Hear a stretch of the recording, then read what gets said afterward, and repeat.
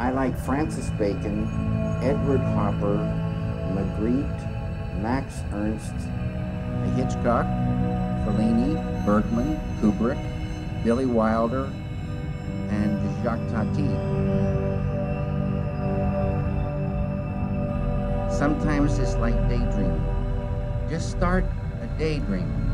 Things come, things come, things come, and one day, bam, you caught a beautiful fish, a fish you fall in love with. Cinema is such a beautiful, magical language. It can say concrete things and it can say abstract things. Quando você senta para assistir um filme do Lynch, você não sabe o que esperar. As pessoas acham que não entendem, mas na verdade entendem, entendeu? And whatever conclusion you come up with is fine with me.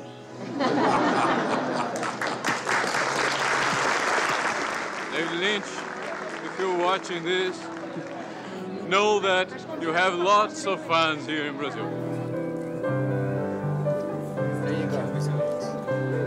So beautiful in the language of cinema, sound and picture flowing together in time.